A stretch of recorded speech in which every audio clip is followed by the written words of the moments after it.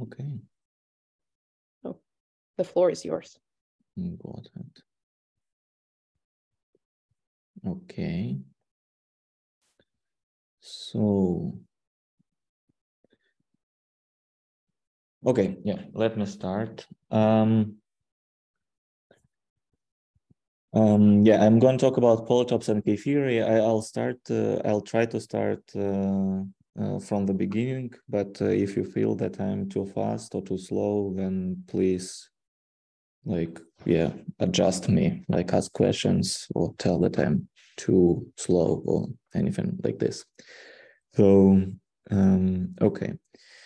Um, yeah, so let me, I also, I want to say that, okay, maybe in first uh, half, it will be, first half of the talk will be kind of preliminary, but in the second half, I'll talk about work with uh, Zhenya Smirnov, uh, which is very much in progress. And um, that's why like some of things like I'll formulate not full generality and we're like some things which can be pushed a bit further, but um, yeah.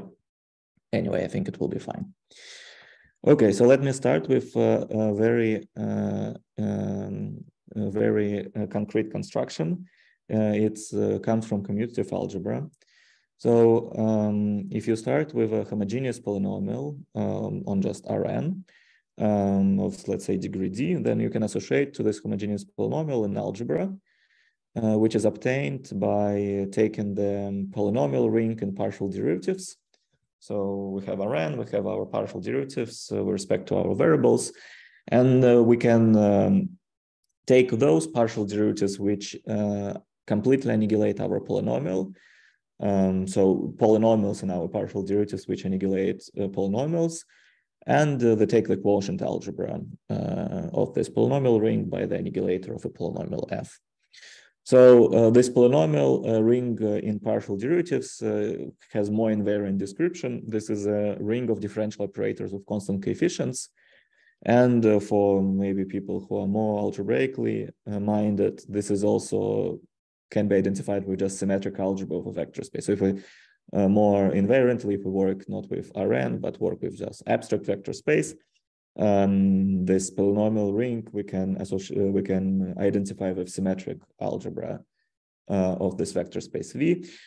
Um, or like you can think about this as differential operators with constant coefficients, which is uh, um, so this is a bit more convenient because in fact, uh, so I started with a finite dimensional vector space here, but in certain examples, it's more, it, it's natural to consider infinite dimensional vector space and a lot of theory goes, uh, goes through.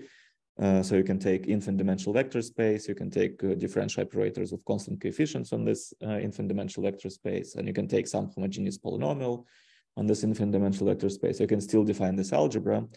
And uh, everything I'm going to say will also be true in this particular case. Although today we will mostly, uh, we will only need finite dimensional case. So, um, okay, so that's very good. We can define this algebra, but uh, uh turns out that these algebras are quite special. So here are several facts about this algebra AF. So first of all, uh, since we started with homogeneous polynomial f, the, uh, the annihilator of this polynomial is a graded ideal. Um, and in particular, the quotient algebra is graded. Uh, so this uh, gradient degree goes up to d, which is a degree of our homogeneous polynomial. Uh, second of all, um, the zeroth and the, the, top dimensional component um, is isomorphic, is just one dimensional uh, vector space. Um, then uh, another important property, which is maybe like the main property, is that this algebra AF uh, satisfies Poincare duality. So what does it mean? It means that if, if I have a ith component and d minus ith component, I have a natural pairing between these two components, which just takes uh, a pair of elements A and B and takes their product and multiplies them. So their product uh, belongs to the uh, top degree uh, component of this our algebra, which is a one-dimensional vector space. So we can identify this with our field, with R.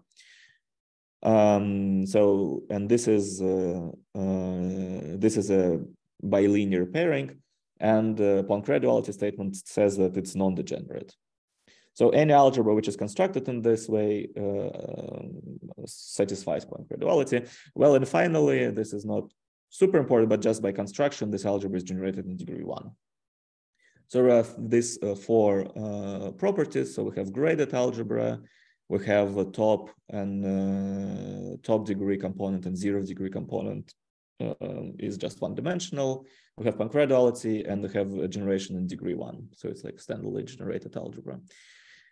And um, um, there's a theorem which says that actually not just uh, algebra AF uh, satisfies all these four properties, but in fact, any algebra which satisfies these four properties can be constructed in, in this way. So if you start with any commutative algebra, which is graded, uh, which satisfies like the four properties I just mentioned, then you can realize this algebra as, as the quotient of uh, differential operators with constant coefficients on the first uh, degree component uh, mod out by uh, the annihilator of polynomial f, which is just takes an element of first degree and raises it to the top power. So again, a to the d is an element of a top component, which is one-dimensional vector space, and we just choose some identification with r, so they realize this a to the d as a, as a number. And um, therefore, like this f defines a homogeneous polynomial on A1. And if we run this uh, construction, which uh, I just mentioned here, uh, then what you get is an algebra which is isomorphic to the algebra we started with. Um, okay, so uh, this construction is not unique. Uh, this is just like one way uh, to reconstruct this algebra, but, in, but um, you can construct algebra A in several ways using this construction. Um, but any algebra can be reconstructed like this. Okay, are there any questions about this thing? Do we know if this algebra is Koszul? Is it something um, no, uh, I don't think so. And moreover, we don't know this algebra is Koszul. And um, I mean, you can also ask like some other things, like uh, I guess people in this seminar also care about Hodge-Riemann relations and Hard-Lefschetz. And um, uh, this turns out to be like non-trivial, uh, non-trivial condition on polynomial f. Uh, and this, I, I, don't think there is like a good characterization uh, of, of, of, polynomials f which satisfy like this extra properties. But uh, this Hard-Lefschetz and Hodge-Riemann relation has to do with Lorentzian property of the polynomial f. Um, but I don't think there is like a good, uh, it's definitely not even only if condition. Uh, and uh, so, so, so like all, all this more special for Koszulity, I actually I personally don't know. Uh, yeah, I never thought myself about this, but further properties of this algebra should be some should satisfy to some further properties of this polynomial, which uh, yeah, yeah, which I. Yeah. Um, okay. Any other questions?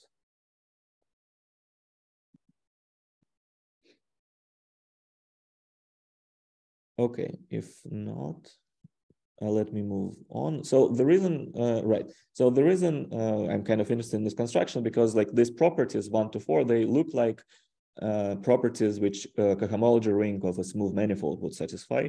Well, except of, um, okay, we started with commutative algebra and cohomology ring is a graded commutative algebra.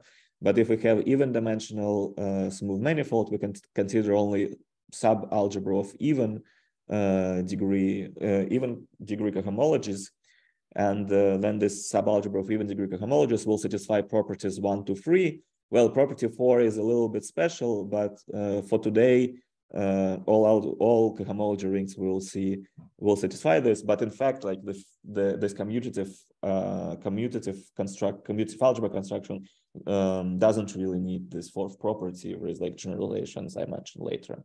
So and uh, uh, so so the whole talk today will be how to um, describe cohomology rings and later K-theory of certain uh, geometric object using uh, this uh, and similar commutative algebra construction. And uh, we start with a description of the cohomology ring of toric variety. Uh, so yeah, let me remind a little bit. Um, so we start with a smooth and complete fan, uh, sigma, uh, so yeah, if you don't know what a smooth and complete fan, it's just like a fan. Uh, so there is a correspondence between fan and toric varieties, between fans and toric varieties, and the smooth and complete fan is the one for which a toric variety is smooth and complete, smooth and compact. And you're over C here? Uh, yes, yes. Uh, well, yeah, I work over C. Yeah, if I want to talk about cohomology, yeah, I mean. Or over Q probably. Uh, well, the, the cohomology will have coefficients over Q or R, but in fact, since I work with smooth case, uh, the same works over Z. But in my in, in all my talk, uh, all cohomology, let's say, will be with coefficients in R, and all varieties will be over C. Uh, again, Great, over you. you can you can do it slightly more general. So okay, so we have a fan, we have a corresponding toric variety, and uh, like the usual toric geometry um, says that there is a correspondence between cones of our fan and orbits in uh, uh, so toric variety is an algebraic variety with algebraic torus action C star to then, and orbits of this toric variety are classified by cones of sigma um, with reverse. Uh, so the dimension of the uh, cone is the codimension of an orbit. And in particular, uh, if I, the set of rays of my fan sigma uh, parameterizes invariant divisors. So I usually denote rays by rho one up to rho r, and this corresponds to uh, r different invariant divisors in my toric variety. Um, yes. Okay. Um, and uh, several facts about cohomology ring. So I already mentioned that, okay, I already mentioned that a cohomology ring is uh, um, has satisfies Poincare duality, but uh, in the case of toric variety, we're kind of in a good case. Uh, so if we have smooth toric variety, uh, then uh, cohomology ring is linearly generated by orbit closures, by classes of orbit closures. In particular, uh, they all even dimensional uh, sub manifolds, uh, real even dimensional submanifolds. So that means that there are no odd cohomology classes in toric varieties. So the uh, cohomology ring has only even uh, components. And in particular, it is, uh, sorry, it's, uh, yeah, well, it's always a little bit uh, awkward to write that algebra is commutative and also graded versus graded commutative. But anyway, it's like, it's a commutative algebra, it is a graded algebra, and it of course has a zero component and top degree component has one dimensional. And moreover uh, it's not just uh, it's not just linearly generated by orbits but it's easy uh, to argue that um, yeah. So it's easy to argue that this cohomology ring is actually generated by degree two because every orbit you can realize as intersection of uh, of invariant divisors, which in cohomology, on, on, on the level of cohomology means that every uh, class of an orbit closure can be represented as a product of uh, classes of codimension of, of, of degree two. So, um, so what it says that uh, the cohomology ring of toric variety is uh, an algebra which satisfies like these four properties which I mentioned before, so it should come from uh, some construction like this. So it should come as a quotient of differential operators on the second degree cohomology, mod out by a homogeneous polynomial, which corresponds to, uh, which is just erasing the degree two class to the top, uh, to the top power. And again, like, so, yeah, so D to the N is a um, a little bit switching between cohomology language and maybe algebraic uh, language where like work with Chow ring. So D to the N is a self-intersection index of, uh, of the divisor. Okay, any questions so far?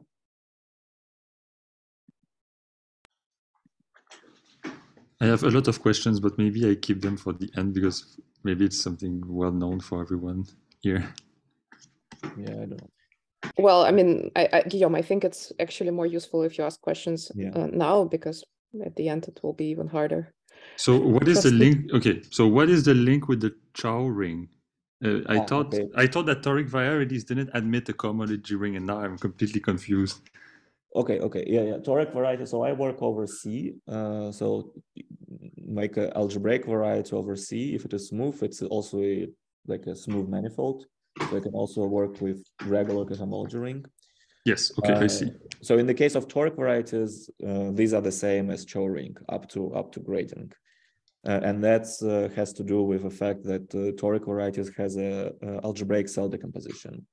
So any in particular, like in general, any algebraic variety which with torus action with finitely many uh, finitely many uh, fixed points um, satisfies this property that link is the same as cohomology. So this algebraic construction is the same as topological construction. So I kind of use cohomology here, but as well you can use uh, everything. You can just change H to A everywhere. And uh, the only thing you need to be careful is the gradings. I see. Great. Thank you. Okay. Um, okay, very well. Uh, so yeah, so what we finish with is like we have some kind of description like this. Only, only thing is, is so far it's not very, uh, it's not very clear like what's this uh, uh, homogeneous polynomial. And since this is kind of some abstract polynomial for now, it's not really uh, giving us any uh, new information. so the next step would be to actually realize so it turns out that this uh, homogeneous polynomial, which takes a, a, divisor and erases to the top degree, uh, it can be also described in some uh, combinatorial terms. Uh, and this is uh, uh, done by like a version of Bernstein-Kushnirenko theorem, Bernstein-Kushnirenko-Khovansky theorem. So um, usually then you think about Bernstein-Kushnirenko-Khovansky theorem, it's slightly formulated in a slightly different way. But what I'm going to tell is basically equivalent to the uh, other uh, versions if you uh, heard any, anything else. So, um, okay, so we work on a toric variety. So we have invariant divisors. Uh, so I, I, denote them like this. So DH uh, is a divisor, which is a, so D1 up to DR, these are primitive, uh, like these are primitive divisors, uh, primitive invariant invariant divisors. So these are orbits closures at infinity. And I just take a linear combination of this orbit closure. And this is uh, like with coefficients, with coefficients hi's. And this is my general uh, invariant divisor. Uh, and first of all, the first um, um, the first uh, statement is that every such divisor defines a polytope, which I denote delta H. Well, uh, strictly speaking, this might be a virtual polytope, but uh, I'll comment on this later. So uh, if divisor is ample, um, which basically means that it's like positive enough, um, then the definition of this polytope is, is, is, is rather straightforward. So what we do is the following. Uh, so we take all points in Rn such that the uh, inner product between this point and a primitive ray generator EI uh, is less or equal than HI. So again, HIs are these coefficients. So we have of uh, invariant divisors. Each invariant divisor corresponds to a ray in our fan. And what we do is that we take, uh, uh, for each ray, we have one inequality. So we start yeah, like this. So for example, in this picture, uh, we have four rays, rho one, rho two, rho three, rho four, uh, and we have four coefficients of uh, invariant orbits, H1, H2, H3, H4, and each of the array defines as an inequality. Um, so we need to take uh, those vectors which uh, uh, those points in, in the plane which have inner product with primitive ray generator or rho three less or equal to uh, H3. And this defines a half space which loops down. And we have for this half spaces, we take their intersection, we obtain a polytope. Okay, uh, is it clear? So in particular, if we change these numbers HIs, uh, what the only thing which happens is this uh, corresponding hyperplane, uh, corresponding facet moves uh, in a pair, like uh, moves um, up like h like this uh, uh, hyperplane which corresponds to the ray rho three will move up and down in a parallel fashion. And the height will be equal to h3 how is it related to the BKK theorem? I thought it was something about mixed volumes and yeah, yeah, it's of Newton polytope. I don't know. Yeah, yeah. So this delta H is a new. You can think about this as a Newton polytope. So the usual uh, BKK theorem is about solving the equations, and uh, but it turns out, I mean, you can also think about this in a, uh, more a geometric way as intersecting certain uh, subvarieties of uh, in the torus, And then it turns out that you can pass to toric compactification, and then this will be actually a computation cohomology ring. And the computation, which I'm going to tell, is kind of without starting from equation, but starting from toric, right? So it's that's how you go from one to another. But maybe I will not tell. Uh, that's fine. Thank you. Um, okay, so this is like this how it works when everything is uh, uh, nice. So, um, but you see what might happen. So I, I try to, uh, so more generally, so I, try to draw like the same fan and I kept H1, H2, and H3 the same. Uh, and you, you see like in this dashed line, where is uh, this uh, previous H4. Uh, but now what can happen, let's, let's increase H4 uh, until it becomes um, H4 prime. and now, as you see, like um, um, so if I if I if I consider if I consider uh, literally inequalities I I wrote before, then uh, the inequality which comes from the fourth ray will not be relevant because um, somehow uh, because the line uh, which is uh, perpendicular to H4 uh, went away from this triangle bounded by three other lines. So if you just consider, you will get some convex polytope, which is um, just the triangle, but that's not the right thing to do. It turns out that the right thing to do is actually to consider this triangle, the one which you just get from your inequalities, plus or rather minus this extra addition, uh, which is this new triangle which popped up uh, after we uh, after the fourth line um, crossed the intersection of the third and uh, the first line. So the kind of geometric object which you associate uh, to a divisor in this case will be this uh, like a linear combination of two polytopes. One of them will come with class with sign plus one and another with sign minus one. And the, the, like some easy way to see it is is the following: like if you follow uh, the if you follow your lines uh, like this uh, lines which are defined by uh, boundaries of your inequalities, um, in, in the way that you go from line one, then to line two, then to line three, and then to line four, then you can always uh, go around these four lines in a cycle. And then the cycle, so before the cycle was just uh, kind of embedded into a plane, it was just defined uh, the boundary of your, of your polygon. But in this case, it's not embedded, it's immersed. And uh, um, in particular, it splits uh, our plane in several regions and then each bounded region uh, comes with its own coefficient, which, which is equal to some Winding number.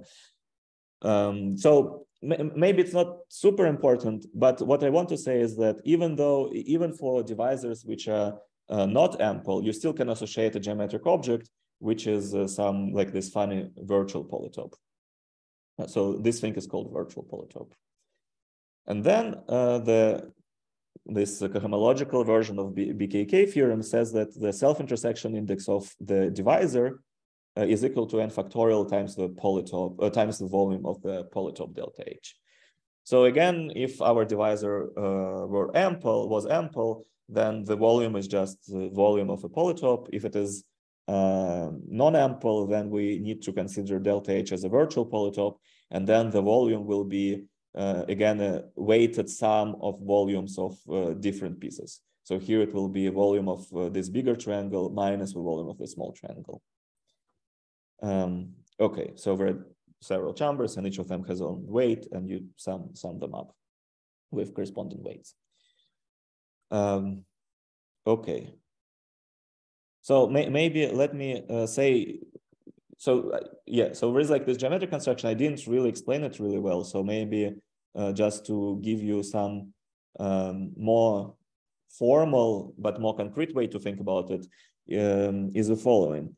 So one way to think about this is the following. So um, the space of virtual polytopes, you should think about this as a, a, formal completion. So if I consider, if I fix my fan, I can consider all convex polytopes which have a, a fixed normal fan. Uh, so these convex polytopes, they form a cone because you can take Minkowski addition of these polytopes and you can uh, scale these uh, convex polytopes. Um, and uh, so they form a semigroup. Um, so you can, what you can do, you can formally extend the semigroup to, to, to a group. So this cone to a vector space. Uh, and this uh, uh, vector space, which like uh, which corresponds to it, is is another way to think about virtual polytopes. So each virtual polytope can be represented as a formal Minkowski difference of two convex polytopes. Um, and um, so now you can also think about the volume in this way. Well, because the volume on this cone, uh, the volume uh, is just the usual volume. And uh, it turns out that this is a homogeneous polynomial uh, of degree equal to the dimension of our space. And since this is a homogeneous polynomial, there is a unique way, like it's defined on an open cone in our vector space P sigma. So there is a unique way to extend it to the whole uh, uh, to the whole vector space in a polynomial way. And uh, like this construction I just told you before uh, just explains how to realize this volume uh, geometrically, but you can also think about this purely in purely, purely uh, formal way. So uh, there is a, a cone of uh, convex polytopes. on this cone, there is a well-defined volume, just the usual one. we can extend this cone to a vector space of formal differences like with usual identification as you go from like a semi-group to a group like you need to identify uh, some differences. Um, and uh, the volume uh, it has unique extension polynomial extension to the whole vector space and this will be the function uh, we need to take. Yeah. Okay and uh, just to finish uh, oh, i really forget some letters Okay, uh, just to finish things together, uh, just to finish uh, uh things, just to put them together is, um, uh, so what we got is um, uh, that cohomology ring of a toric variety. So um, it was the quotient differential operator, dif differential operators with constant coefficients on the space of virtual polytopes, on the vector space of virtual polytopes, by the annihilator of uh, like the self-intersection polynomial. But Bernstein-Kushnirenko theorem says that this uh, self-intersection polynomial is equal to the volume polynomial on the space of polytopes. So this gives like a combinatorial uh, description of uh, cohomology ring of toric varieties, one of the descriptions. Okay. Are there any questions?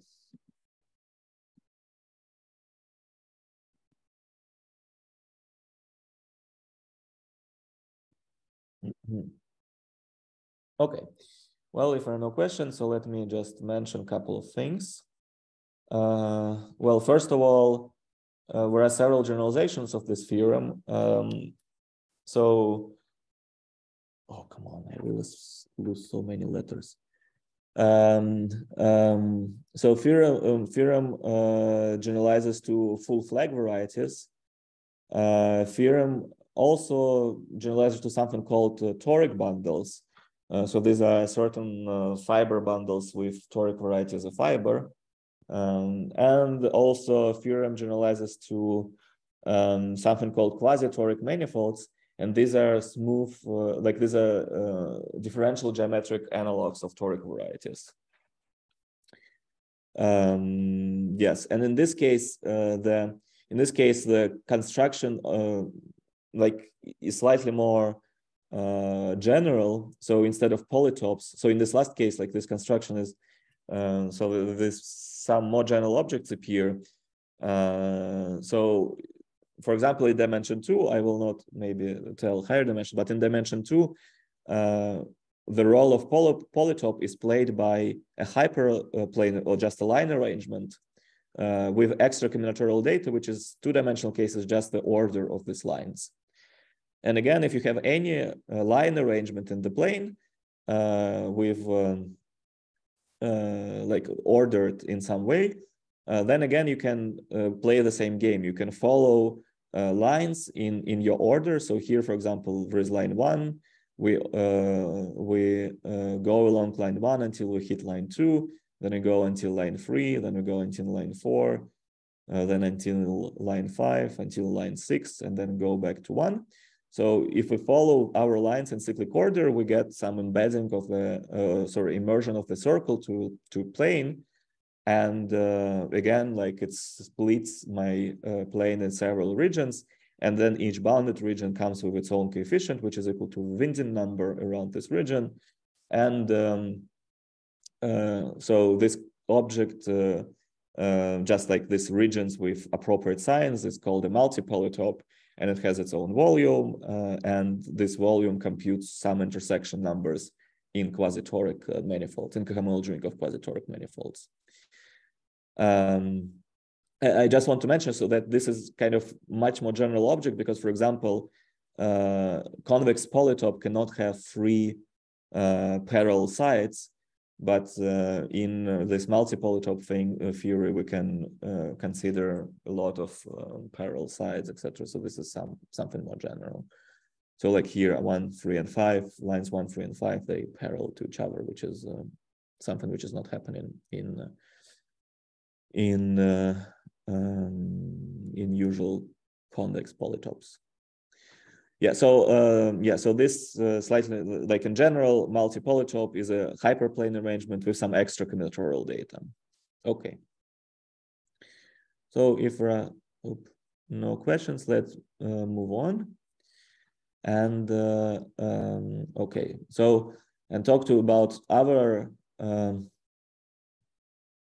our constructions, uh, our uh, description for cohomology rings of toric varieties.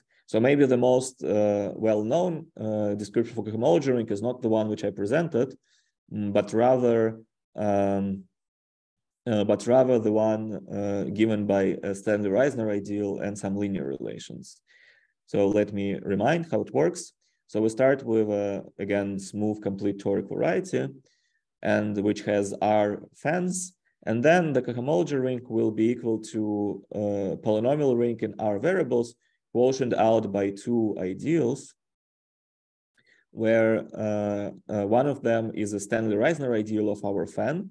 So this I uh, is generated by uh, square free monomials xi1, xis, uh, which correspond to the collection of rays which do not form a Coleman sigma. So this is a Stanley Reisner part. And there is also a linear uh, ideal J, uh, which uh, goes like this. So for any element U in Rn, we can uh, uh, construct this linear uh, relation um, the coefficient in front of xi is equal to the inner product of u with primitive ray generator of, of corresponding ray. So there are two ideals. And uh, like this uh, well-known statement is like a homology ring is equal to the quotient of polynomial ring in R variables, which we uh, parameterize by our rays again uh, by this by the two uh, ideals I and J. So um, so now, yeah, I want to uh, what I want to explain is how this description is related to the one which I mentioned before. And uh, well, in, in fact, I only explain one part. I will explain why uh, both ideals I and J are uh, belong to this annihilator of volume.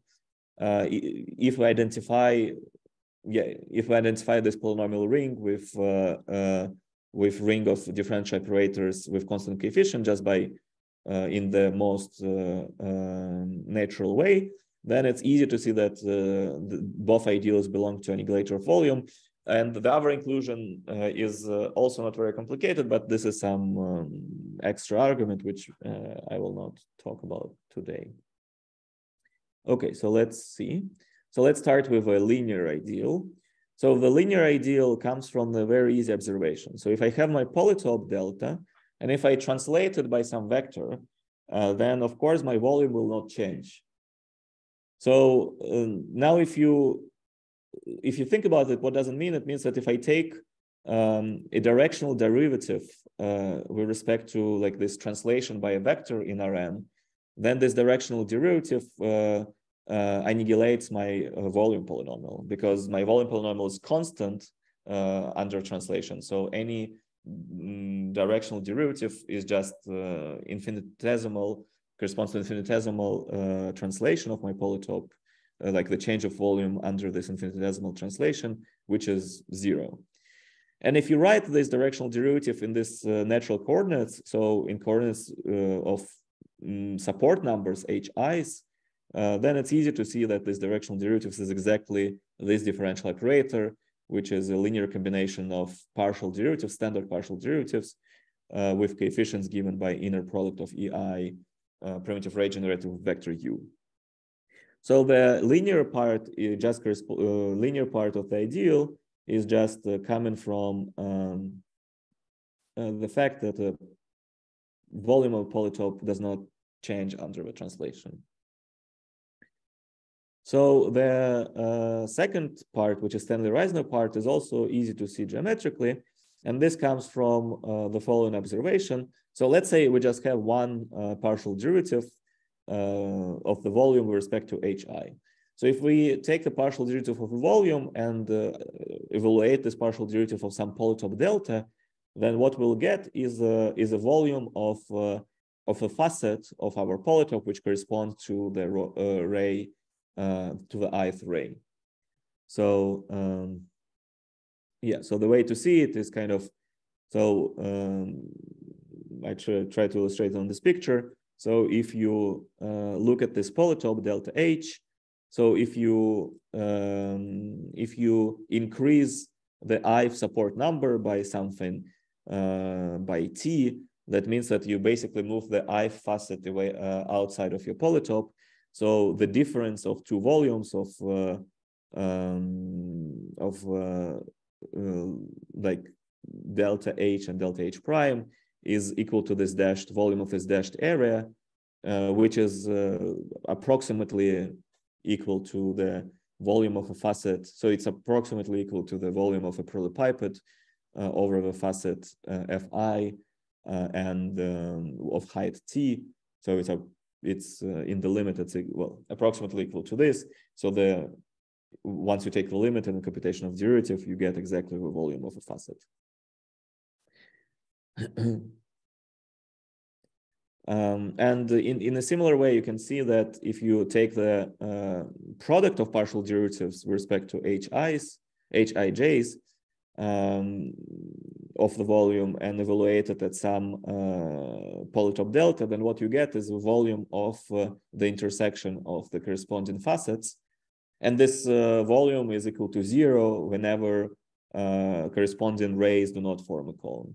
So you can see how uh, the usual Stanley-Reisner ideal comes from this uh, volume polynomial description and also, um, yeah, in this way. Okay, are there any questions so far?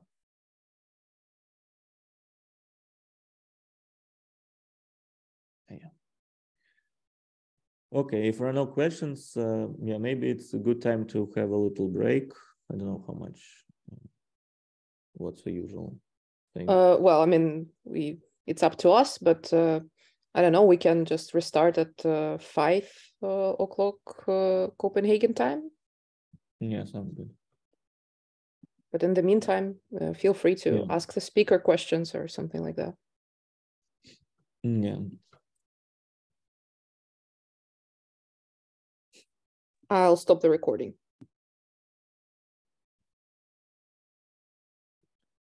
Okay, so um, okay, so now let me move on to some uh, uh, to the second construction, uh, which is very closely related, uh, but um, in slightly yeah.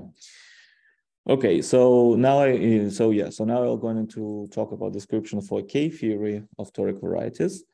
Um, and this description of K-theory kind of starts the same. So first we start from a purely a commutative algebraic construction of an algebra uh, from a function, but in this case on the lattice. Um, but let me first uh, tell what kind of algebras uh, I am interested in. So um, if I have a commutative algebra uh, and a linear function on this commutative algebra, uh, then um, I can define a pairing uh, on this algebra in the following way. So the pairing between two elements A and B is the evaluation of this line, uh, of this linear function at their product. So this is a symmetric bilinear pairing because uh, our algebra is commutative and function L is linear. So since our function L is linear is bilinear, since uh, algebra is commutative, it's symmetric. And uh, we say that uh, this pairing is a Gorenstein pairing if it is non-degenerate. So meaning that for any element there is a, a, different element, like there's another element so that their pairing is not equal to zero.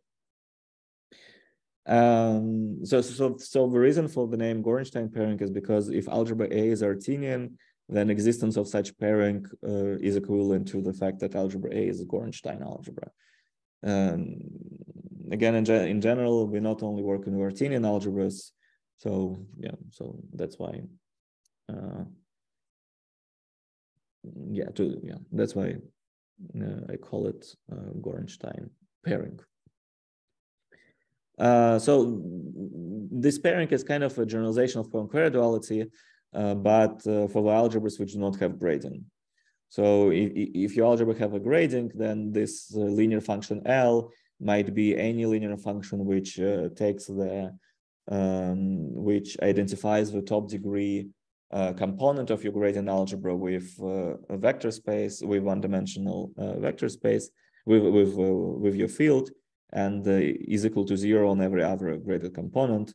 And then uh, the usual pairing, which I described you before for this graded algebras, is the same as uh, uh, Gorenstein pairing, more general Gorenstein pairing. Um, and uh, so um, for this algebra, there is a construction which is um, similar to the construction of Pukhlikov-Khovanskii, uh, which uh, realizes this algebra uh, as a quotient of differential of of ring of differential operators of constant coefficients uh, by annihilator of something.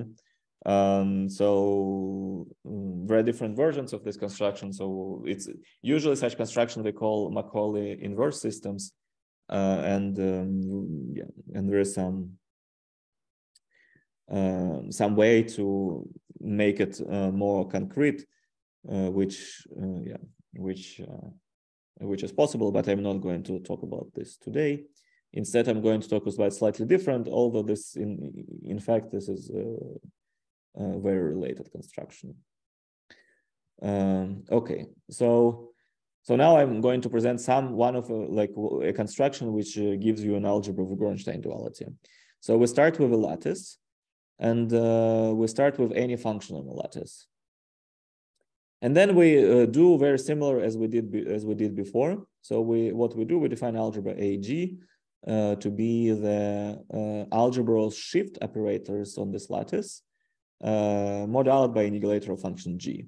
So uh, let me tell more concretely. So if you choose again, if you work with some lattice which is just z to the n with some basis, then uh, this shift operators. This is just Laurent polynomials in uh, uh, primitive uh, translations, so T1 up to Tn. So the translation Ti or shift Ti just acting on the function g by by subtraction from its argument the corresponding uh, ith basis vector. So uh, Ti uh, applied to g related at x is equal to g of x minus ui, and the minus sign is just for for the convent it's for conventional reason. And of course, you can also add, and this will be inverse element. Um, and uh, any shift operator, again, these are shift operators with constant coefficients. These are Laurent polynomials in, in, in this uh, primitive shift TIs, uh, the shifts which correspond to basis vectors in the lattice. And the annihilator as before, uh, so these are like analogs of this partial derivatives, a discrete analog of this. Well, not really, but I don't know. Yeah, it's not real. Um, uh, so uh, an annihilator is uh, just again is the set of all shift operators which uh, which uh, if you apply them to our function g then what you get is identically uh, identical uh, function which is equal to identical identical equal to zero. So the operators which annihilate our function completely. Um yeah and as before there is like more uh, the way to think about this what coordinates. So if you have any lattice not necessarily finitely generated for example uh, then uh, by lattice i always mean uh, free abelian group but not necessarily finitely generated then the shift operators you can identify it with a group algebra over uh, your lattice um, so this is like more invariant way to think about it uh, but so basically con construction is the same. Instead of the vector space, we have a lattice. Uh, and instead of differential operators, we have shift operators, but the algebra constructed in very similar way. We take the ring or algebra of shift operators and quotient by those operators which completely annihilate our function. And uh, um, there is a theorem which is uh, parallel to uh, the theorem I mentioned to you before. So first of all, like this uh, quotient algebra AG is a, an algebra with Gorenstein duality. So first of all, we uh, so annihilator is an ideal, and if you quotient uh, it, and if you if you take this quotient, there is a Gorenstein duality on this algebra. But also there is an inverse statement as before. So if you have any commutative algebra which is generated by invertible elements, uh, and which also has a Gorenstein duality given by function L, uh, then you can also realize it as a, using this construction as above in the following way. So you need to take the lattice um, uh, z to lattice of dimension, which is equal to the number of your generators. And uh, the function on this lattice is given by evaluating. Um, so if I have a vector k inside of this lattice, then uh, my g sends this vector k to evaluation of this linear function L uh, at the monomial a1 to the k1, as to the ks. So the AIs are generators which, which are chosen for me. So if I chose my generators, which are invertible, uh, then any Laurent monomial of these generators makes sense in an element of an algebra. So I can evaluate my linear function, which provides me Gorenstein duality on this monomial. Uh, and this defines me a naturally functional lattice. And if I run this construction on this uh, for this pair, like uh, lattice z to the s with this function, then you uh, obtain your algebra A back. And again, like uh, this might be said slightly more general, like invertible. Invertibility of elements is not very important, but that's that's let's let's let's stick to this generality. Um, okay, and uh, well, as I said before, uh, the reason why interested in this construction because it recovers some uh, uh geometric uh, geometric rings uh, and namely K, ah, well, sorry, before, before going further, further, let me uh, say a couple of facts about this construction. So uh, first of all, I said that you can run it for any function G, uh, but to be honest, uh, for generic function, uh, the annihilator of this G is trivial. So the quotient is not very interesting, it's just a Laurent polynomial ring. And um, so in this sense, most so this word most is not very precise, but you can you can make it more precise, at least in some cases. So it's really most of the functions are not interesting at all. However, there is a class of functions which is interesting, and this is a polynomials on the lattices. So if you have a polynomial on a finitely generated lattice, so if G is a polynomial, uh, then this algebra, then the annihilator is not uh, trivial, but moreover, the quotient is finite dimensional as a vector space. So it's a what you get is an Artinian algebra. So this is maybe like the most interesting example if you have a like a lattice with a polynomial defined on this lattice. Um, yeah. Um, yeah. But this is not the only example of non-trivial annihilator. Like if you just have a one-dimensional lattice and exponential function, this one-dimensional lattice, then annihilator is also non-trivial, but uh, the quotient is not yeah, I believe the quotient is not finite dimensional as a vector space. Um, okay. So yeah, so let's now uh, move, move back to toric varieties. So uh, this construction uh, should recover some uh, other invariant of a toric variety, namely the K-theory. Um, so let me remind a little bit uh, what is a K-theory. So the K-theory is, um, uh, is, a, is a abelian group uh, and um, it's constructed as a free abelian group generated by vector bundles over U. So if X uh, is, let's say, algebraic variety, so then K theory is a free abelian group, which is generated by vector bundles over X, uh, quotient out by the relation, which comes from short exact sequences.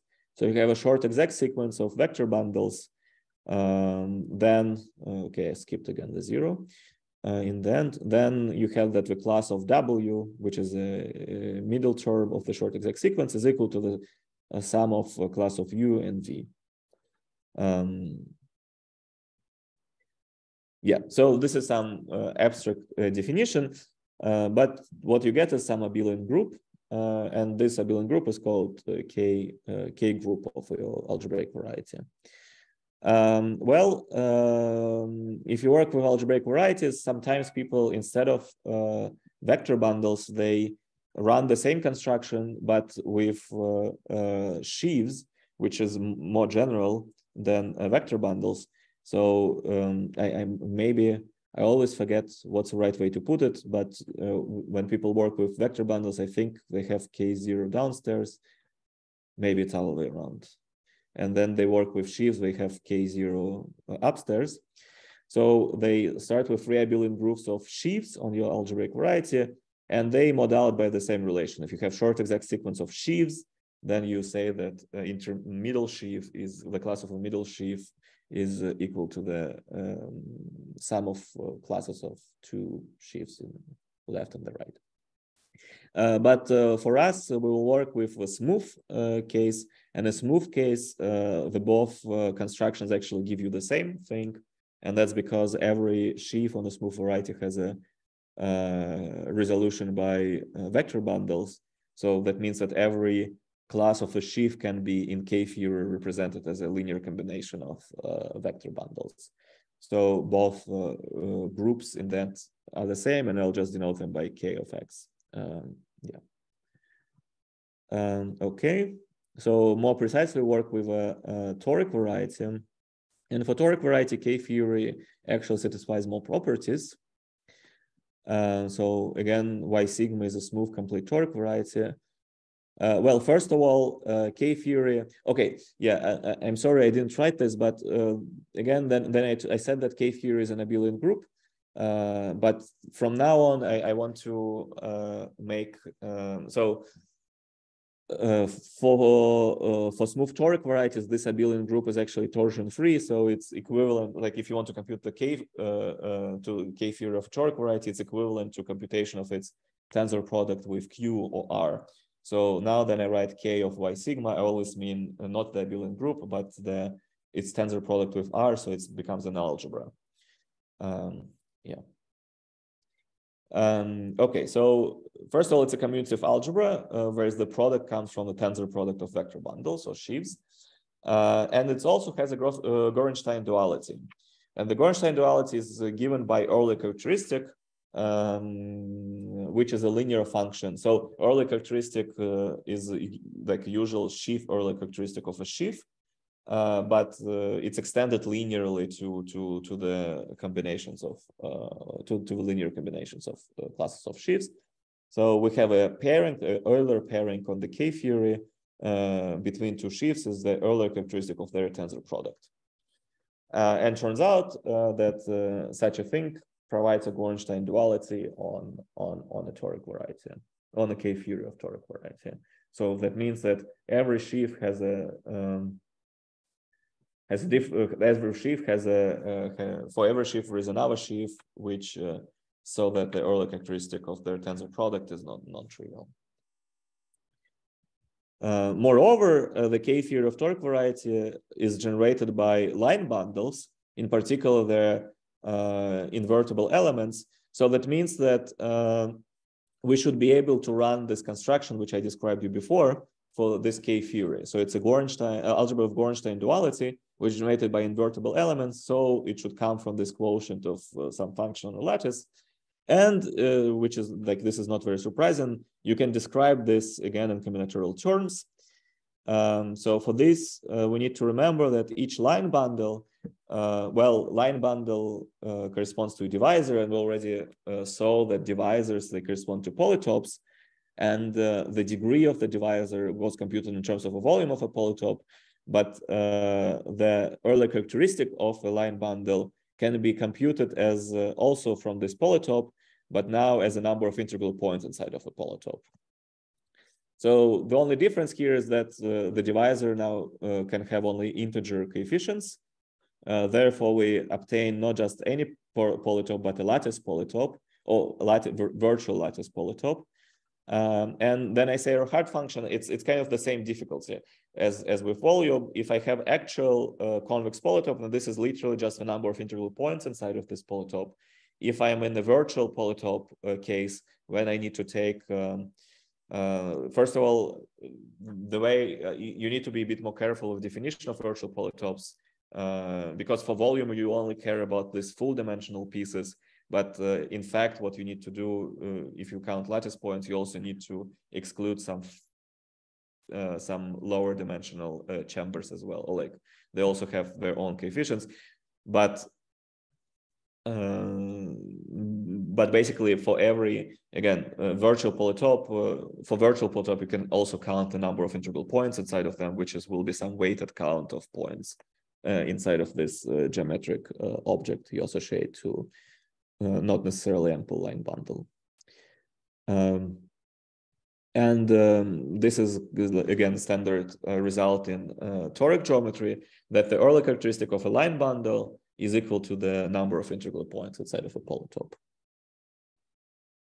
Or this is also called Ehrhart function. And again, uh, if you put everything together, uh, this gives you a description of K-theory in, in a completely analogous way as a description of cohomology ring.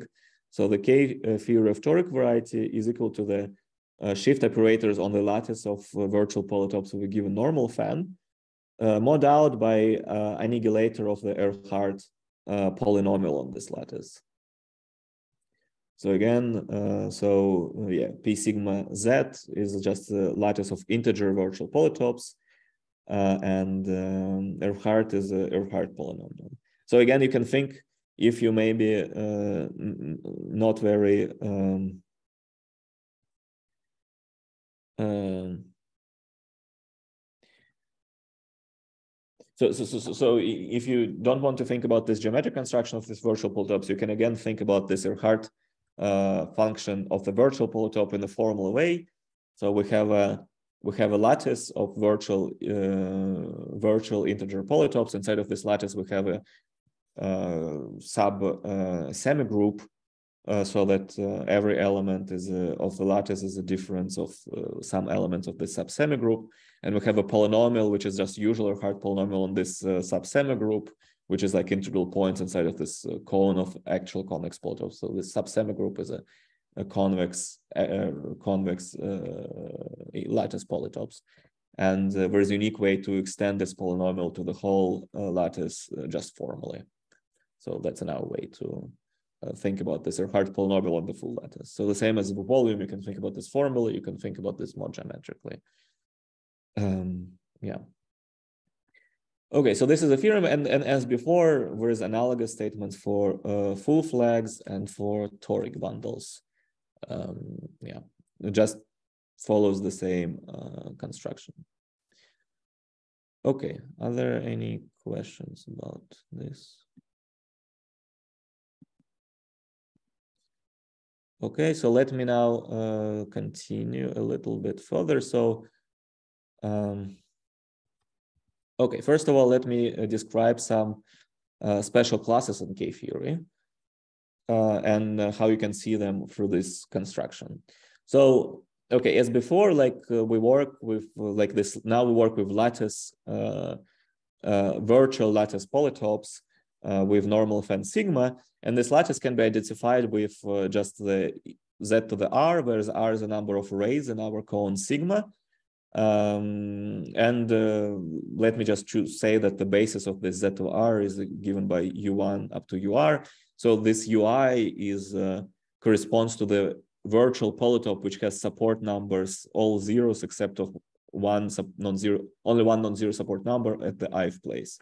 So this is usually a virtual polytope, uh, which has uh, uh, height one uh, with respect to ith row and height zero respect to all other rows, all other arrays.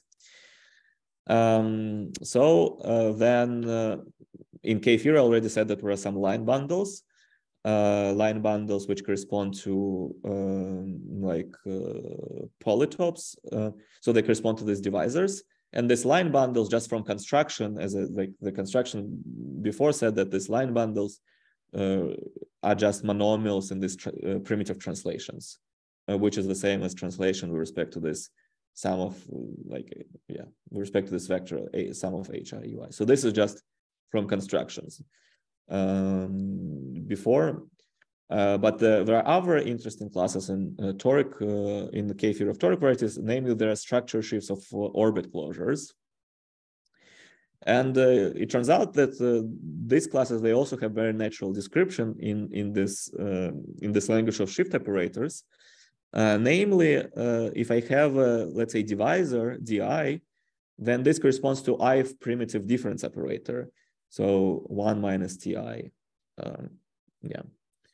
Uh, this is like a sort and shift operator and um, under the natural identification of uh, under this isomorphism which from the theorem of a quotient of shift operators with k theory these are shift operators which which are mapped to uh, to the structure sheaf of uh, uh, structure sheaf of divisors and if you have more generally structure sheaf of the orbit closure, then you just need to take the product of these uh, classes uh, over all uh, rays which belong to our column. Um, so what does it mean? It, it kind of means that if you want to compute the, what does it mean that this operator corresponds to the structure shift of a divisor? That means that if you want to compute uh, a Euler characteristic of some sheaf uh, tensor product of some sheaf with respect with uh, structure sheaf of the uh, boundary divisor, well, then what you need to do is you need to apply this difference operator to the Ehrhart polynomial and evaluate it at the um, at the um, at the element which corresponds to your original sheaf. So kind of in other words, restricting to orbits corresponds to uh, of like shifts to orbits of your toric variety corresponds to application of this uh, primitive difference operators to a Ehrhart function on your uh, space on your lattice of um, uh, on your lattice of uh, line bundle like Picard lattice. Okay, and and and and as before, uh, this uh, you can see also the relations in K-theory uh, in very similar way as we saw the relations in polynomial in in cohomology ring. So if I have a polynomial, um, if I have a polytope delta, well, again, their Ehrhart function does not depend on the translation. So if I translate my polynomial by integer vector, my Ehrhart function will stay the same. So uh, moreover, like the support numbers, if I translate as before, if I translate by some vector x, then the support numbers change in very predictable way. So new support numbers equal to the old support numbers plus the inner product of x with uh, primitive ray generator. Uh, so therefore, the Ehrhart function of uh, delta is equal to the Ehrhart function of, well, delta translated by delta, but uh, delta translated by x uh, Ehrhart function of delta translated by x is equal to the application of this primitive uh, translations uh, this many times. Uh, so if you apply this product of differential operators, a product of this primitive translations, you get literally the same function. So therefore, like this difference of uh, one minus this product is uh, a shift operator which annihilates the Ehrhart function for any for any integer vector x. So this is an analog of a linear relation cohomology that's kind of exponentiated linear relation cohomology, which uh, appears in K-theory. Uh, and the explanation is exactly the same as before. And similarly, you can see also um, uh, Stanley-Reisner, analog of Stanley-Reisner relations. So there's also kind of a deformation of Stanley-Reisner relations. Uh, also in very similar way, so um, if you want, if you start with this primitive uh, difference operator, just take one minus ti and apply it to a Ehrhart polynomial uh, and evaluate it at some polynomial uh, delta, then what you get is a Ehrhart function of, of, of, of, of a facet which corresponds to ith ray. So it's very easy to see geometrically. So uh, in this picture, you have uh, delta of h, which is like this big polytope, and delta of h, um, uh, where I where I, where uh, we um, uh, decreased one of the support numbers by one. uh, this is the dashed uh, uh, polytope. And this is exactly the polytope of which we get after applying TI to Ehrhart function. So the difference of two Ehrhart functions is exactly so only those, all the integral points which are in big polytope but not in the small one are the ones which belong to the facet Fi. So this is uh, even easier than in case of uh, uh, volumes because you don't need to pass to limit, you just see it right away. And in particular, like slightly more general, if you apply the product of these difference operators to your Ehrhart polynomial, then what you get is a Ehrhart function and a related some polytope delta, and then what you get is a Ehrhart function of the intersection of these facets, uh, which vanish if um, the corresponding facets do not intersect, which is equivalent to the fact that corresponding rays do not form a cone in sigma.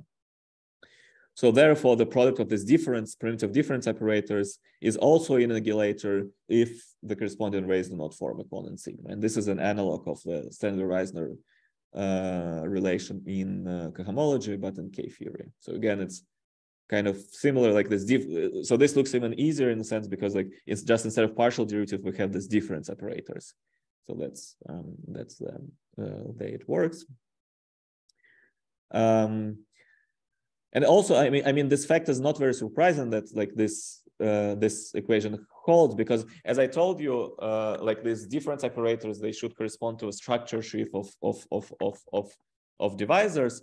So application of this difference operator Ehrhart function should correspond to restricting our uh, our sheaf uh, to to the divisor. And you have a line bundle which corresponds to a polytope delta, if you restrict it to a uh, invariant divisor, this will be also an equivariant line bundle, but on uh, toric variety of dimension n minus one. And the polytope of this line bundle will be exactly the face, uh, the corresponding facet of your poly of your original polytope. And the Euler characteristic uh, is exactly the computation of uh, number of integral points inside of this uh, face by usual uh, toric um, toric uh, geometry. Uh, and again, so so far I just constructed two ideal. So I constructed two relations which belong which belong to my annihilator. So, but in fact, you can show that these are the only relations which you can which you can actually see, which you actually see in uh, in in K theory, and therefore you obtain like a presentation of K theory, which is this presentation is also is, is known. It's uh, which is analog of a Stanley Reisner, uh, which is analog of the Stanley Reisner a presentation of cohomology ring. So it's again generated by two ideals. So it's quotient of Laurent polynomial ring in R variables, where R is a number of rays, quotiented out by two ideals. One of them is an analog of linear ideal. So this is like exponentiated version of linear ideal in cohomology. So you have a monomial of xi's to the power ei uh, inner product with ui, with u, sorry, where ei is a primitive ray generator of corresponding ray and u is any integer vector. Uh, so you have ideal generated by these guys. And you also have an analog of a Stanley-Reisner ideal where you take the product of these elements 1 minus xij's. So these are in in in this uh, this analogs of this these are different these correspond to difference operators and um, you take those ones uh, which correspond to the collection of rays which do not form a cone in sigma. Okay, are there any questions?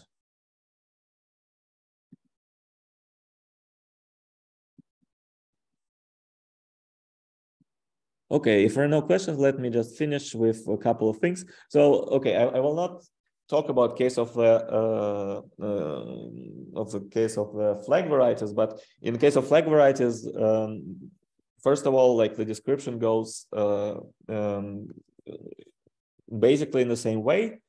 Um, and uh, in the case of flag variety, you now think so. In the case of toric varieties, the inter the, inter the interesting classes are orbits, but it's it's kind of it's kind of a baby example. But uh, in case of flag varieties, there are actually interesting example, uh, interesting classes in K-theory, which are uh, structure sheaves of Schubert varieties.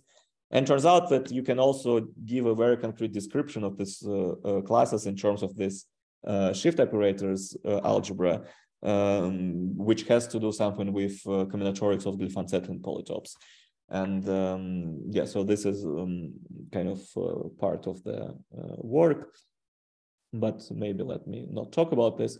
And maybe the last comment is uh, that, okay, so um, one, one, one motivation for, for like this description, which I presented is, uh, so the description by generators in relation is not very functorial. So namely, if I have, let's say, two toric varieties, uh, which correspond, if I have like a fan and if I have a subdivision of this fan, uh, this give me a, a, a different toric variety uh, with a uh, with a map to original one, and um, uh, it's not so easy to see how uh, how different how cohomology rings or k k rings of of these two toric varieties are related if you just purely look at the generators and relation things because it's like these ideals they kind of they depend on all rays which uh, which you have and it's not so easy to see how to go from like one cohomology ring to another. Uh, and this description via the uh, shift operators uh, and Ehrhart polynomial or uh, differential operators in volume polynomial is much more functorial because the uh, polytopes with normal with smaller normal fans they appear as also polytopes with a, a, larger normal fan and um, there's a natural kind of embedding of uh, one uh, cohomology ring into another. And in particular, you can take like the direct limit of all of this, uh, of all of these algebras. And in the case of cohomology ring, this direct limit was actually studied before. So this is called the ring of conditions. Uh, well, ring of conditions def defined in much more general case uh, for spherical varieties. But for, tor for, for torus, for algebraic torus, so ring of conditions is a some intersection theory, which you can define for homogeneous spaces which are not compact. So it's it's a it's a certain uh, intersection theory which works well even though your homogeneous space is not compact. For example, for uh, for torus itself, the usual Chow ring is trivial, but there's still kind of non-trivial intersection theory happens, and the ring of condition is the ring which responsible for this intersection theory. And uh, this ring is exactly equal to direct limit of all possible toric compactifications of the toric varieties. Um, and uh, like this volume polynomial description is more convenient in this case because uh, it gives you very uh, concrete way to describe it. And similar for uh, K-theory, like uh, this description via Ehrhart polynomial gives you a way to consider this uh, direct limit in the very natural way. So what you need to do is just instead of taking virtual polytopes with a given normal fan, you just take all possible virtual polytopes. This is a this is a lattice um, this is a lattice. It's infinitely generated. It's not finitely generated anymore. But as I mentioned before, like the whole theory uh, goes through. So you just take this. Uh, sorry, yeah, I missed again. So you don't take just the lattice. You take the shift operators on this lattice, and you take the annihilator by uh, quotient by all those shift operators which annihilate the Ehrhart function or Ehrhart polynomial on this infinite dimension, infinitely generated lattice. And what you get the, is like this universal uh, K-ring of this uh, of all toric varieties or kind of K-theoretic ring of condition. So I, I uh, yeah, I'm not sure people considered this before, but uh, I, yeah, this is okay. Maybe let me stop here. Yeah. Uh, other questions? Yeah. So let's thank the speaker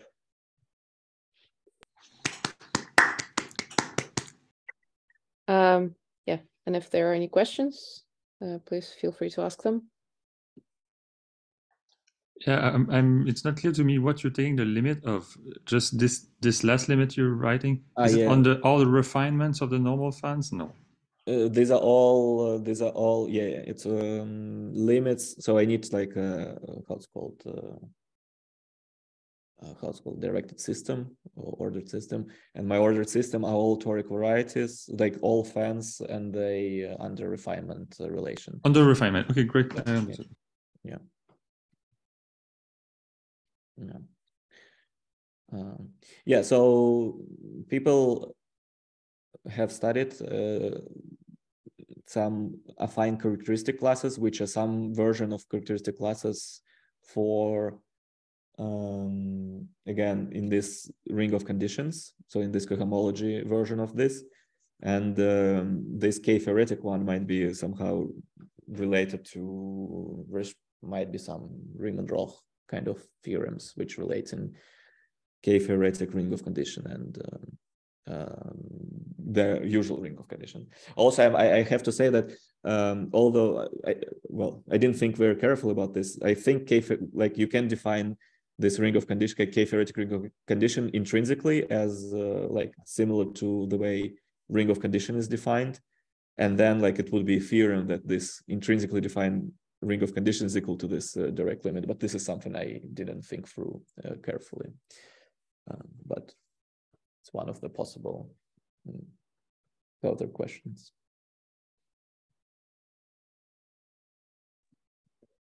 Okay, any other questions?